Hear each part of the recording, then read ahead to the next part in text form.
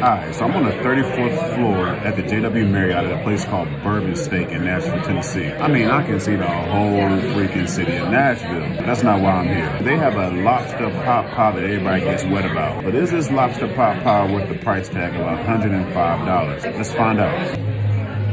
So allow me to say the presentation was A1. It's very stimulating. For the price of $105, they do give you a lot of lobster too. And the lobster, I can say, is cooked to perfection. Is it worth the price of $105? Absolutely no.